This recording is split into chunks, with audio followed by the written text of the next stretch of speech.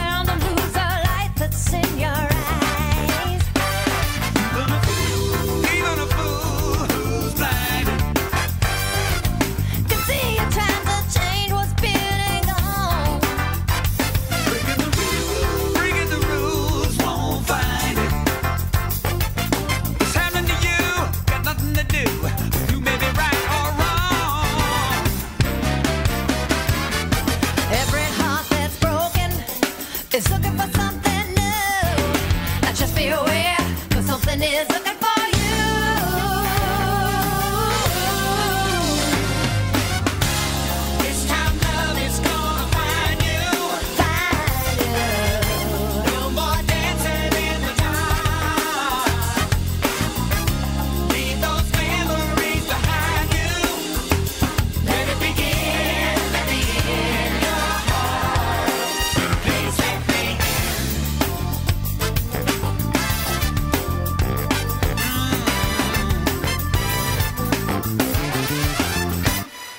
never know.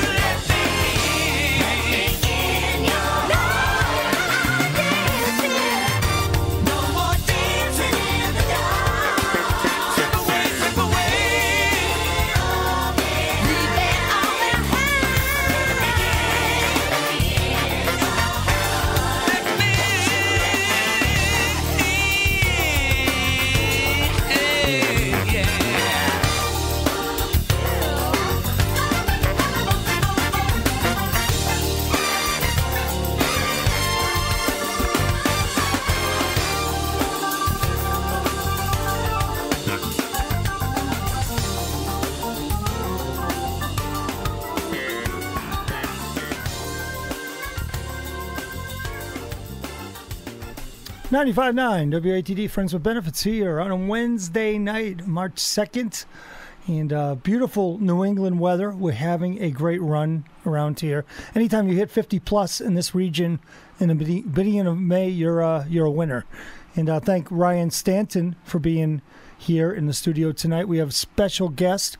Uh, is he on the line? Bill Champlin. Bill, you there? Yeah, here, here you are. Hey, great. Sorry, I wasn't home. I, I got a, I got a late call for a for a session, and I came over. I actually played hi hat on something. How's that? Wow. Um, so I've never heard anybody get h- hired just to play hi hat. Well, this is something we were working on, and uh, in the there was something wrong with the original track that somebody played. You know, it was, I think it was Burleigh Drummond was playing the original track, and Oh, uh, Burleigh's uh, from Ambrosia, yeah, or but, but yeah, yeah, yeah. great, great drummer. Tell him I said hello. Yeah, Yeah, I will. yeah. Um, But uh, you know, we just needed to, you know, put some kind of hi hat on there because nobody bothered to record the first one. There's some leakage into the into the tops, but you know, that's all just you know studio crap that we do. How you doing, buddy? good man, and we just want to welcome Bill Champlin on the line. Uh, Seven eight one eight three seven forty nine hundred. That's seven eight one eight three seven forty nine hundred, or on the email line at cta management at rocketmail.com. and that's where you can send an email if you have any questions for Bill. Bill, we just led off with a track. Uh, Love is going to find you. And that was one you sent to me about 20 years ago. You sent me three albums back I'd say it's about 20 years ago now. Burned down the night, through it all, and no wasted moments. It said, Brian, catch this stuff. You know, uh, it's it's I big. think, I think this song was on. Uh, uh, he started to sing. he started to sing was this one, right? Exactly. Yeah. I'm getting my albums mixed up, but I have them Uh, all. Hey, listen, you know. You, you probably spent the same top dollar for your memory loss as I did for mine. So about 20 years ago, you sent me these tracks and said, "Give them a listen, and uh, you'll like it. It's big over Japan." And I found out, man, they were they were selling like hot, hotcakes overseas. And um, Well, I don't know about hotcakes, but they were doing. They, you know, you know, these things. People have them. They have copies of them. I, I, every time I go over, I sign a few. Right now, we're kind of kind of on the case for this CWF album that we did, we're just really excited about talking about that. Champlin, Williams, and Friestedt, which is a, a, a, a guy in Sweden has you know produces all these records, and him and me and Joe Williams from Toto. Toto's new lead singer. So we're uh, you know we're we got an album out with the three of us. Pretty cool, pretty cool record. We're going to cut off a cut uh, called "Carry On" in a few minutes uh, when we when we lead into that. But uh, what was the genesis of this album, Bill? I know you've been working with Joseph Williams for man a couple of decades, and Yeah, also I mean, Joe and I just you know sometimes we we start off just doing background vocals for different you know mostly Japanese records and stuff like that. We just start kind of went, hey man, your arrangement and my arrangement together, uh, we come up with some pretty cool stuff. So we ended up doing a handful of things. You know, there's a. Did you ever hear the the acapella record we did? well, I did. Yeah, you you sent that to me too, uh, way back, and uh, yeah, well, I think we Bobby did Kimball was on kind of like that. Actually, a tune that me and Will Champlin wrote together uh, right after 9/11 that we did on that on that CWF album. It's a pretty cool little piece of music. Yeah, you know, and, and I'll, I'll tell you one thing. We need to give uh, Will Champlin props too. He was uh, on The Voice uh, 2013, and he's been uh, riding up a storm. And that's your son, of Yeah. course. I know Will's actually getting up there. He must be in his, his high 20s now, right? Oh, he's, he's even older than that, but let's not even talk about that. Wow. but, but I'll Rub tell it you. in, man. Rub it in. He's he's set his heels in this business and really taken off, and uh, Yeah. well, we congratulate him. And of well, course, I think he's got a he's got a, a, a co-write on the new one the new One Direction album, which is kind of cool. And and those guys actually sell copies of records and stuff. yeah. kind of a rare thing, isn't it? well, that's nice to get royalties once in a while. Well, you know, it? I wanted to get their album, so I went and shoplifted it. So that's cool. you know, basically, you can take the kid out of Marin County, but you can't take Marin County. You can't take the thief out of the kid. you know? Yeah. well, we got to talk also. Your your wife Tamara was on that last track. Um, Yeah. When you sent me that, man, that knocked me out about 20 years ago. And She's she's uh, as Doc said, man, that bird can chirp. Tamara, yeah, Tamara's a really great singer, great songwriter. What I love about tracks like that on those albums that you did back in the 90s is, you know, there was no auto tune, no no screwing around. It was basically get get over here and play or get out of here. And If uh, I remember correctly, I think we did this on. Uh, I think that I'm pretty sure that was on 24. One of the last records I did on 24 track. I think it was a two two inch tape, 24 track. Yeah, yeah, 24. I had a, a Sony MCI 24 track.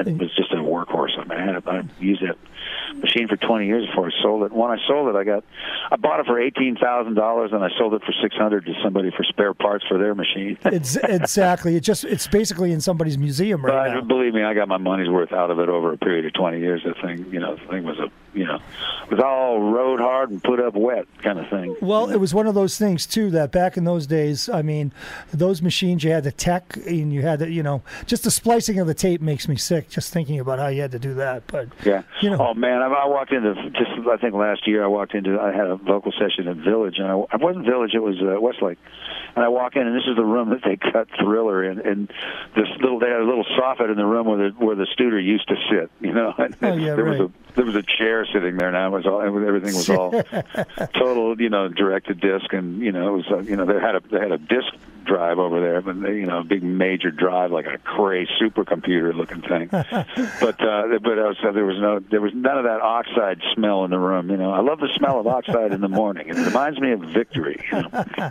Well, I mean, like I said, it's a it's a new day now, and now this album uh, with uh, Joseph Williams and Peter. Now, let me get his name right. Is it Freestat?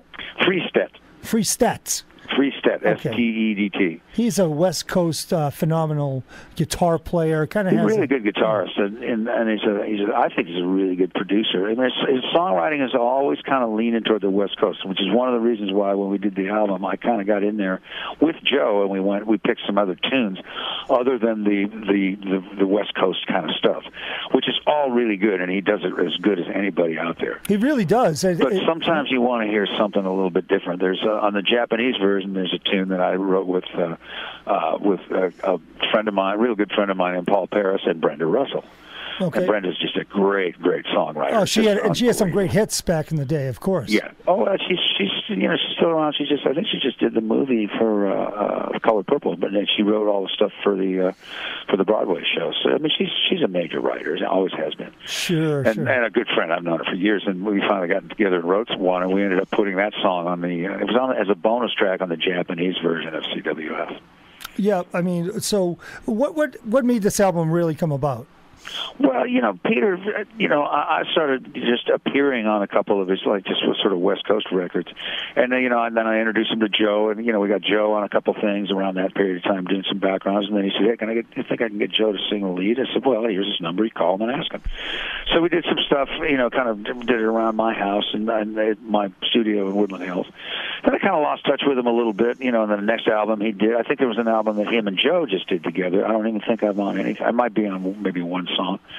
And then he said, uh, he said, "Hey man, I'm coming over. You feel like working?" And and I said, "Yeah, of course, man. I, you know, anytime you want to come." He said, "But let's let's time. Let's why don't we just do it? Because we did a tour."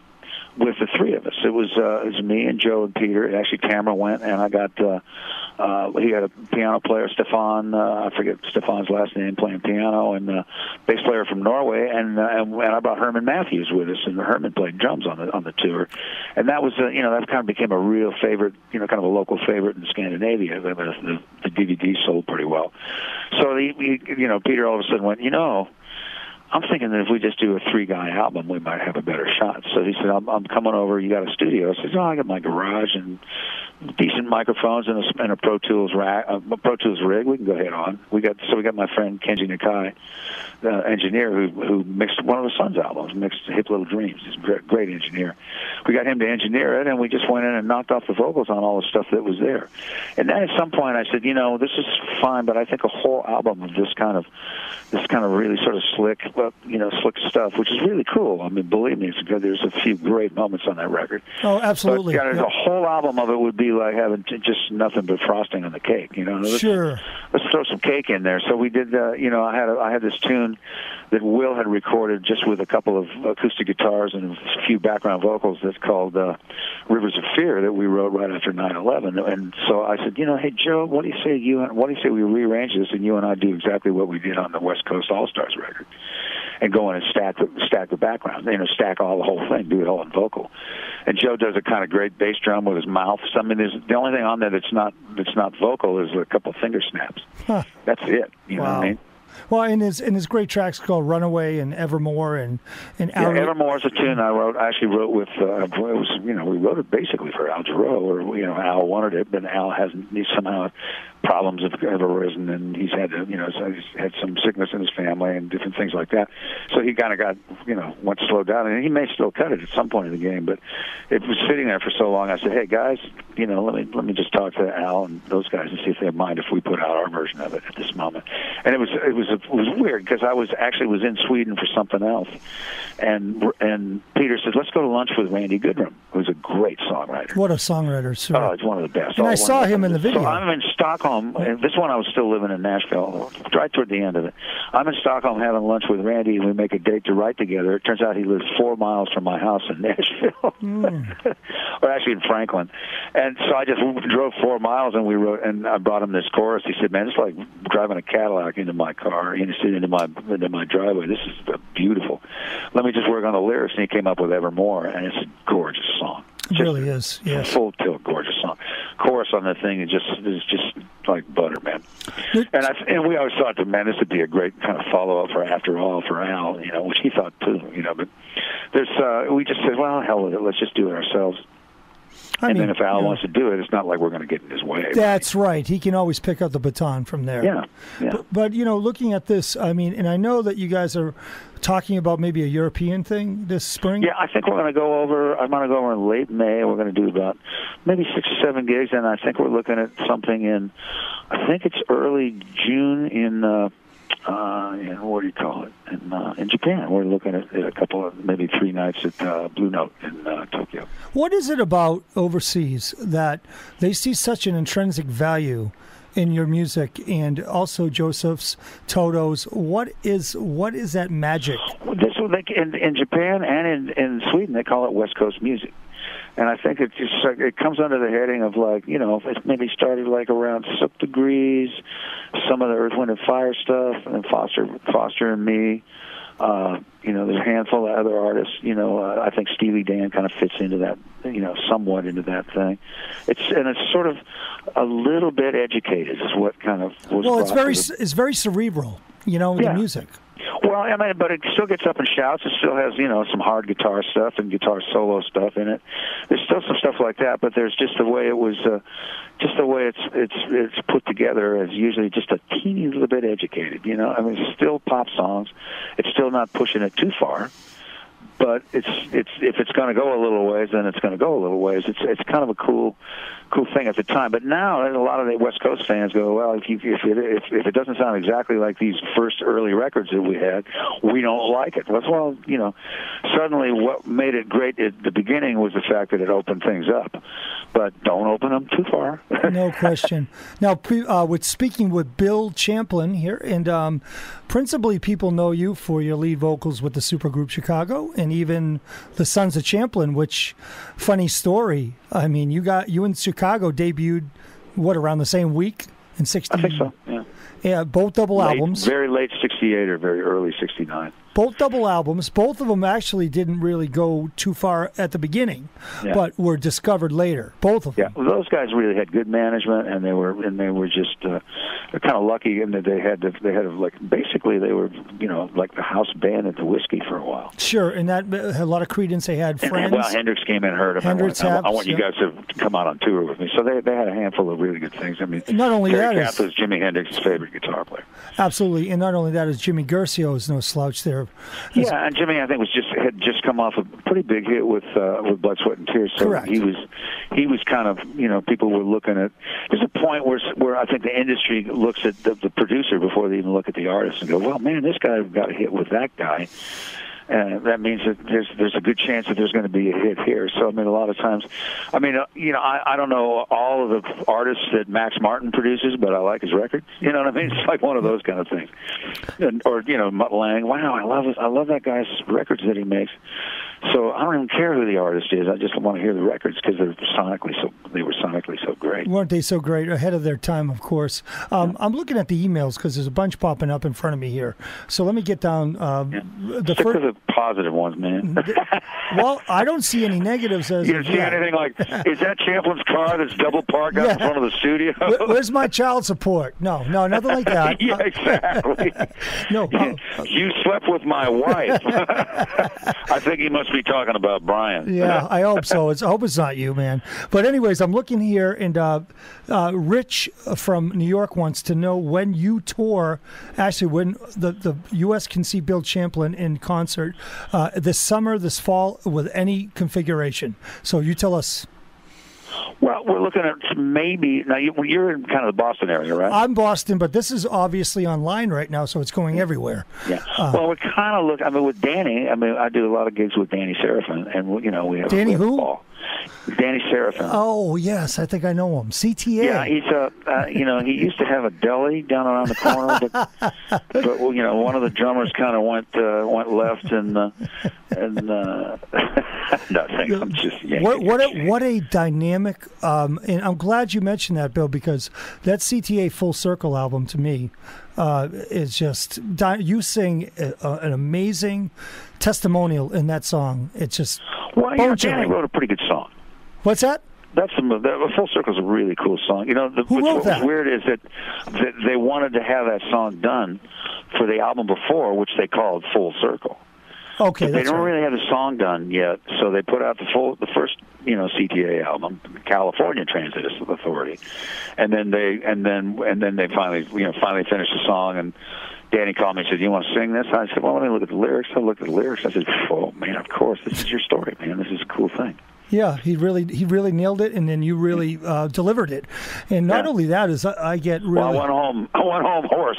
So I know something happened that night. hey Bill, you can Cameron still "What happened to you? Just you, you gargle sand or something?" You you, know? you can still hit the high notes, and that's all I care about. Well, yeah, I got to fight for him sometimes. you know, hey, you know, it's just a, it, it's singing isn't a matter of chops; it's a matter of wanting to.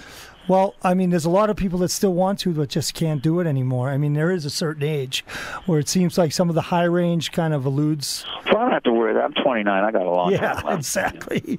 Let's I talk. stopped, I stopped having birthdays. I started having anniversaries of my 29th birthday. I figured that's the best way to do it. You know what? Absolutely denial. Yeah. But listen, Bill, uh, on Sacred Ground, yeah, I'm glad you brought that up because that song, Sacred Ground, your son Will sang and that well, the originally, I uh, originally Larry was singing it, and then Will started working with Danny. Yep. And Danny said, "I'm gonna have I'm gonna have Will sing that tune instead of Larry. It might be kind of cool." And I'd already done the I stacked all the backgrounds on that. It was. That's my So that song actually was all Will and me. halfway into that song when your backgrounds come through with Will's, the the vocal timbre is just it's amazing in that song. It really sells the song. And Danny playing like he's a teenager again.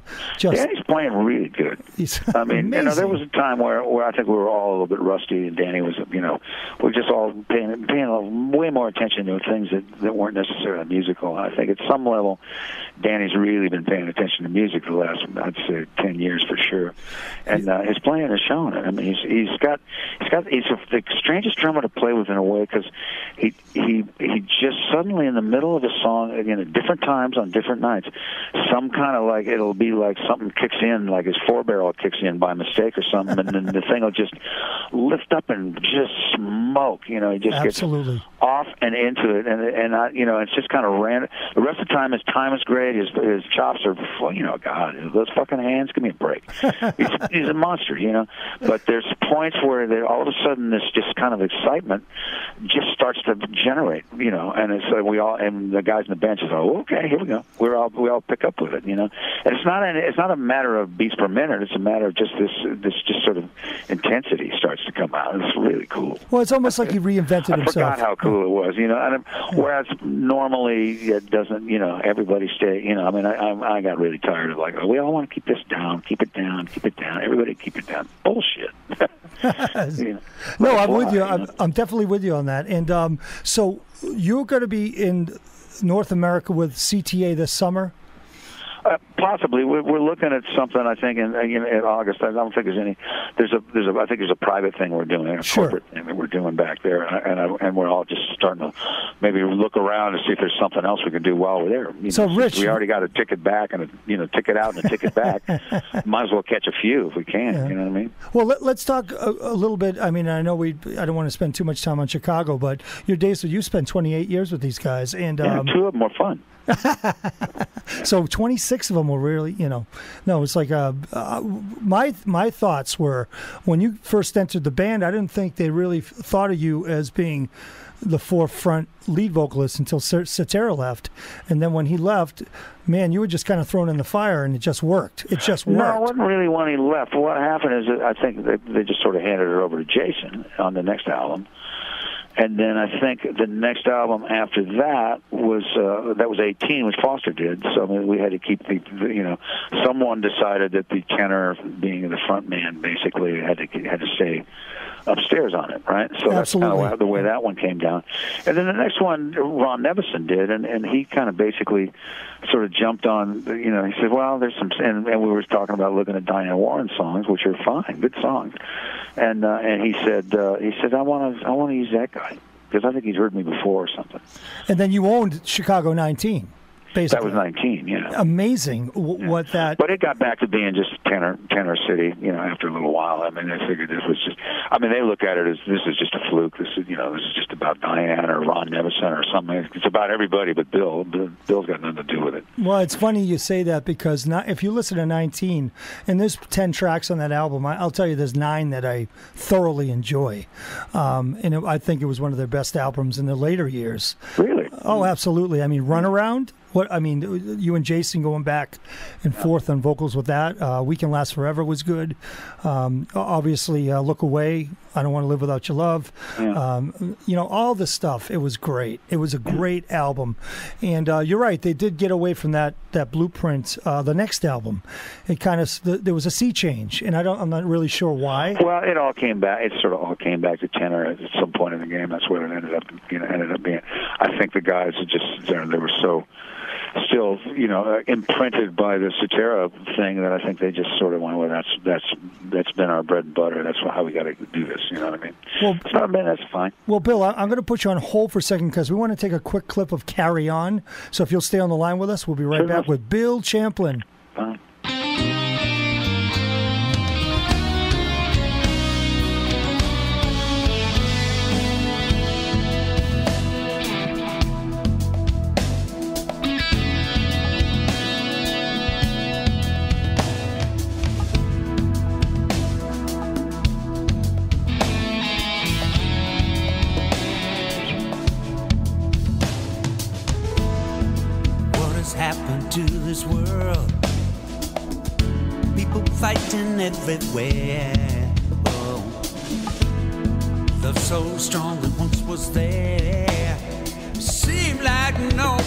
Nobody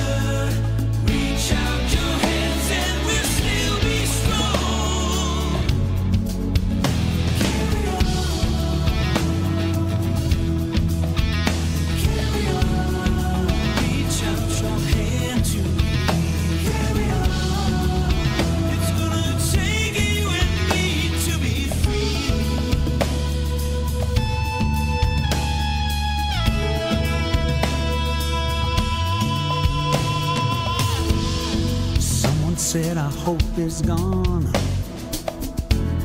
but we still can make a change. This is where our hearts belong. Stand up again and again and again.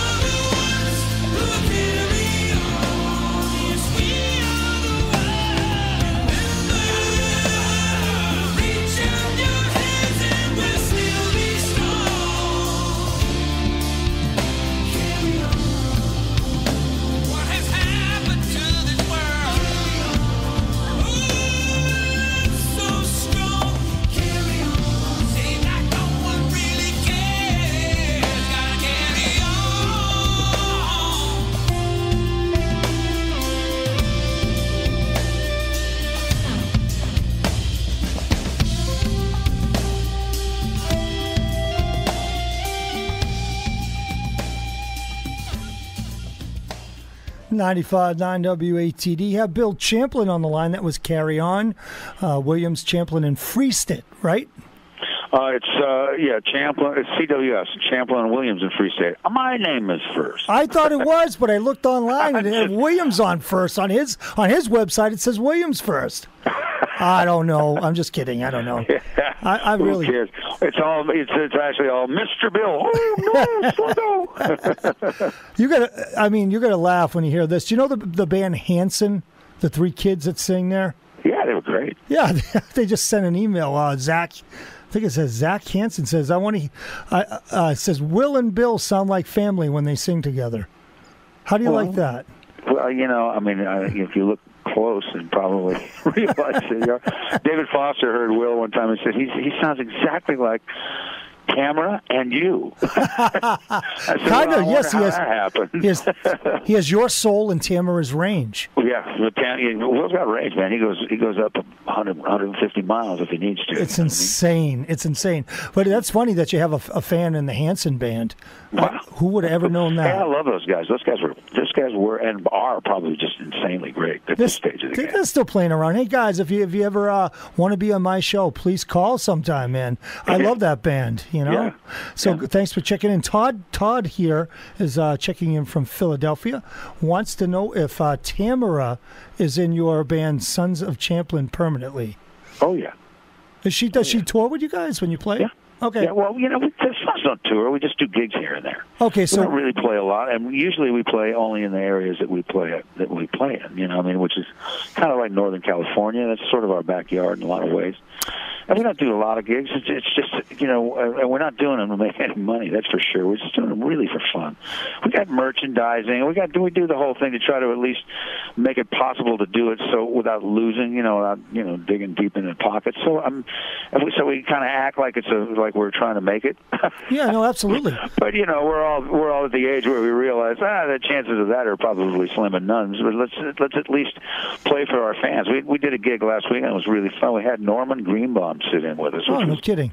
well, he's from that area. He's from Santa Rosa. Okay, beautiful area. Love that. And then, and then the guitar player who played on uh, Hip Little Dreams album, Tal Morris, sat in with us. So it was me and Tal and Carmen on a few songs.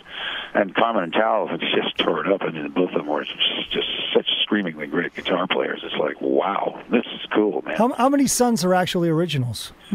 Uh, uh, Geoff Palmer uh, came in in 1967, and Tim Cain is back in the band. He was he and I actually started the band when we were still in high school. I think. Interesting because I feel like the Sons is kind of like the original jam band.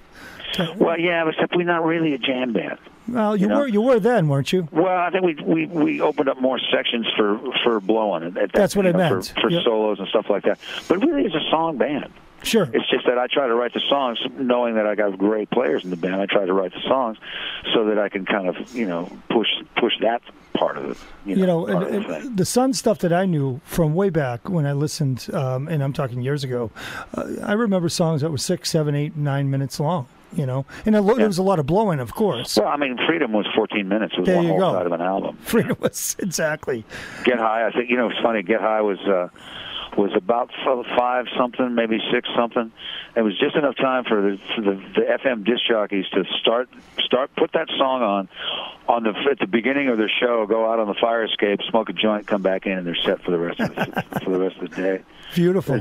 And uh, FCC got wind of that, and that Yeah. kind of stopped pretty quick. we love that behind the music kind of stuff. Yeah, absolutely. How Yeah. did how did you get involved with Elton John? I I did a couple of dates, you know, a couple of a couple of his records, and I think it was. Uh, Was that a Caribou? I mean, were you doing that there or uh, No, no, elsewhere? no, no. It was, it was much later than that. Okay, it was. Okay. No, he was. It was just he called me. uh It was weird. I had just had an accident washing dishes and cut my hand really badly. oh, And uh, and I was looking at the it's like the web of my left left hand, the web of my thumb, going, well, it doesn't really hurt very much. And I just opened up the thumb and I was looking at the bone. I was going, oh my god, this is not going to be good. Right, right. I'd cut right through it with a, a glass broke while I was washing it, and. uh uh, teach me to do dishes, you know what I mean? But oh, absolutely. Yep. So, but uh, and then the phone rang. and It was Elton John. He wanted me to do it. Tate said, "Elton, can you just give me a number and I'll just call you back because I got this thing going on. I really think I need to get over to emergency." He said, "Get your ass over there now, man. He said, You're a piano player, aren't you?" I said, "Yeah, and guitar." He said, "It seems like something you should take care of. So give me a call back." he said, "He's a good guy." But we did uh, me and and uh, and uh, Max Carl and uh, Nigel and Dee uh, did all the stuff on Little Jeannie. Oh, what a great man! That was a tremendous track from. Uh, Yeah. It's probably Oh, 1980, right? Somewhere Yeah, and I, and I can't remember the sax player. Is the I think it's the same sax player that played on uh, on Billy Joel's. Uh, hit. I forgot. how 52nd Street. No, it was on the one. You know, the, you know, uh, just the way you are. Uh, Oh, oh, I know who you're talking about. He just he just passed away about a year ago. Yes, Yeah, and I've, and I've, he's about 73 years. old. I remember who he is. Yep. yeah, I've, I've He's a classic uh, b- session really, guy. really. Oh, it was Jim Horn. Jim, Jim- Horn uh, on on alto on that. So, you know, he he was just a sweet sweet player in any place he touched. You know, anything he put put him and he got him near a microphone. It was always just great.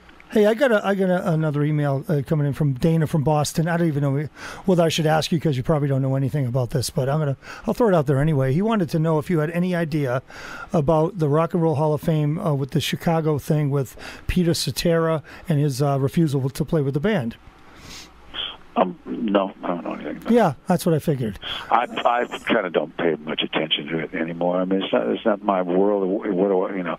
Me knowing about or not knowing about something that Chicago's doing is doesn't make any. You know, there- there's no reason for. it. Well, I think he was looking more for the Peter Cetera side, but I'd say well, I know, go to I, I, I do know something that you know. Peter's Peter's a good guy. Actually, he wanted to try to get everybody, all the old all the old guys in there, and the band had not. You know, nobody wanted to do that. And that's he what I that's what I Chris heard. Pinnick and me and and uh, Donnie and you know just a handful of people. He said, "Man, I thought it would be really great if everybody just came in, and, you know, did one song or something like that." I don't think any. I don't think that was flying at, at some level, but I, you know, he was really trying to be fair and, re- and be really cool about it all. And uh, you know, I talked to him on the phone. Oh, you did? Okay. Yeah, I mean, but this is before all this was coming down. He he still had kind of hopes to try to get a whole thing going on, and I don't think I think all they really wanted to do was just to get Peter and to try to sneak him into doing a tour or something like that. I, I really don't think he wants to. Right, and um, it just seemed like his intentions were a feel-good night of uh, seeing the old guy, seeing you. Well, seeing, that's what yeah. I think he probably had in mind, but you know, I, I, I couldn't tell you what came down because I'm not privy to that kind of information. Sure. But I know I know people's tendencies, and I know how people get treated in certain situations. So it didn't surprise me when I heard that he was just around about this is you know. This is more BS than, than you know. It feels like the same thing that I left for. So why why, why bother doing it? And it's best. It's probably best to leave it alone. I mean, I worked with Tommy Thayer uh, last week at a, at a at a benefit, and you know he's been in Kiss forever. And uh, they didn't when they were inducted, they didn't let him in either. You know, they didn't induct him. It's either, a as far as I strange policy, my friend, and I have no idea what, what you know what well, makes I think they just want to, you know, mostly I get the feeling when the when there's an award given to somebody, you know, those kind of things. They're really awarding them for the for the beginnings of their career, not the not last week's gig, but the 1st gigs that you played. you know? Mm-hmm. Right. Yeah, or not the last album, but the first album. And I think that's, in that sense, I think the founding members is a is a really good call. I think if that's what they're really being awarded for, their first, you know, two or three or four albums, man, they deserve it. It was awesome records. Absolutely. And Dana, so I'd go to petercetera.com because I know he, he's thrown out a couple of um, blurbs or, or whatnot on the front of his site. So check that Yeah. out. Maybe you'll get some well, more Peter's, information. you know, if if you want to hear really one of the world's premier singers and one of the Oh. one of the world's premier voices, go hear Peter. He's just worth listening to, man. He's such a great. He's got such a a singular sound and tone and timbre. It's just it's just something unbelievably great about his singing. And you know, with him, he can bring it down a little lower. He didn't have to sing all the way up in that screech range Yep. and he still sounds like Peter, you know, and he's still got that tone and that that sound, and, and it's just uh, you know really really you know. Well, I knew you enjoyed the hell out of it. Singing Well, I mean, we we got whenever we sang together, it was always I mean, uh, we went out to do a to do a demo before we got in the band. That uh, Danny was producing a demo for a friend of mine, Angelo, and uh, and uh, and I had done Angelo's last studio album like I don't know a couple of years before, and he called me and said, "Hey man, you want to come in and, and do this?" And I was like right in the middle of doing the Rit album, but I was just you know we were doing late sessions me and Eric were singing like all night long. It was just insane. We were tired, right? And I said, well, I, I got kind of a cold. He says, well, you know, Pete said the same thing. I said, Pete? Who's Pete? He said, well, Peter Cetera, but he's going to come in anyway. I said, well, you know, my cold ain't that bad. I'd like to sing it. yeah, no so kidding. I went in there, and, and you know, that we we kind of just sort of, you know, squeaking out some parts in the in the booth, and then we said, well, let's go out and see if we can throw throw some stuff down, and we started we started singing together on this demo. It was for uh, for this guy Angelo, who's a great, another great singer, unbelievable voice. And uh, and we, uh, you know, everybody in this booth just went, "Whoa, what's that? what kind of blend is this about? Man, this is flying like crazy." And Danny didn't, you know, Danny was producing the session, so he was there. So I think that was well, that's that was that, I think the light bulb went over Danny's head. well, of course. you know, you see Danny's like, very good at that. light bulb was an acetylene torch. I went, know. oh my God, this is gonna, this is wow, dig this, because we and we and we immediately just started blending together really great. And I- you know, I was I was had a pretty good blend with Peter if we really spent a minute or two on it, really getting the. You know the right mics, the right compressors, the right all that stuff. You get all that stuff together, and then we were we always sounded pretty good. Yeah, Danny's a great uh, producer in his own right. But uh, another uh, email from Todd. He wants wanted to know um, your uh, relationship with Maurice White of Earth, Wind and Fire. Uh, you know, I sang with him on a on a Deniece Williams album, uh, on a couple of songs, uh, and you know, I have I think just on one song, uh, "When Love Comes Calling." So you guys When knew each other to a. a Comes calling, yeah. knocking, knocking, knocking at my door. That's that's me and Maurice and, and Deniece singing backgrounds on it. Nice, yes. And that's really kind of the only time I really worked with Maurice. I mean, I knew him. We, you know, because of the, because of the. I mean, I had co-written a song that they had released. Of course. So I kind of knew him, but I didn't know him. I knew Verdine a little bit better. I mean, just because I kept running into him for some odd reason. You know, so- sometimes you just see people because for no particular reason. Yeah, like at the deli or whatever. Yeah. Yeah, that kind of thing. You know, oh, wow, car wash, something like that. And uh, you know, Verdine was, you know, was kind of a friend of mine, so you know, we always kind of had a good time hanging. And uh, and so, but Maurice was always, you know, he was always kind of busy doing other stuff, so I didn't really know him that well. I sang, I might have sung with him. I, I sang on, a, I think, a Tubes song. Uh, uh, what is it? Uh, Tip of My Tongue might have been the name of the song.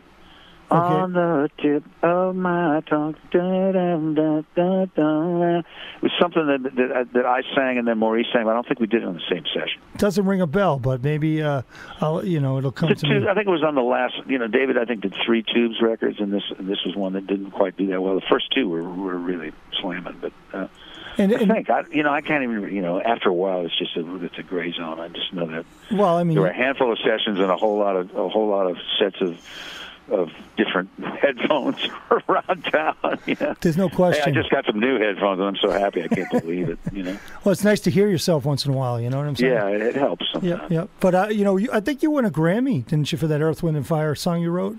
Yeah, it was an R&B song of the year. Yeah, I mean, Me so and David and uh, and Jay, and then a couple of years later, Jay and uh, uh, Jay Graydon, and then Jay Graydon and Steve Lukather and I won one for "Turn Your Love Around," the George Benson song. and and two and if anybody doesn't know the great Jay Graydon, Steely Dan, and just a million sessions. Jay, Steve, Jay did the solo on Peg, and everybody's man, that's a screamingly great guitar. that solo." little He- he Hawaiian little did- riff, yeah. There was a there was a song. I mean, you you should check it out. Check out the what they call wire choir. In other words, stacking guitars up I love it. Yep. on uh, on a, on a song called uh, uh, Twilight Zone on the Manhattan Transfer album. Oh yeah. Yep. Okay. Check out Yep. check out Graydon's wire choir on that. It's like a textbook on how to how to how to make this happen. I mean, he's such a great musician. Well, Bill, we're up against. we're up- you know Jay and Randy Goodrum actually have an album, and they're working on a second album together No called kidding. J and R.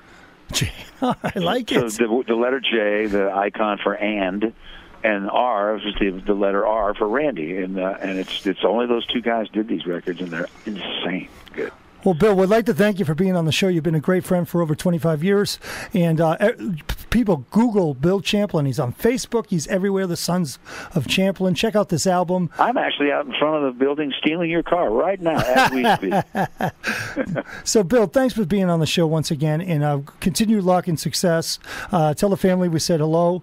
And uh, we'll, ca- we'll catch you down the line, man. All right, well, we might see you if you know we're looking at maybe August, trying to get some stuff out there. To see if we can find some. Absolutely. I hope we do, CTA we'll comes out. Yeah, I hope CTA's over here.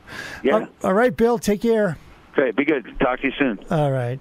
And you're listening to 95.9 WATD Friends with Benefits here. And the Peter Black Show will be right after the 10 o'clock break.